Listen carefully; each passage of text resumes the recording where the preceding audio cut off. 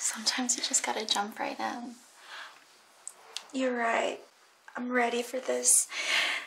You can do whatever you want to me. And don't hold back.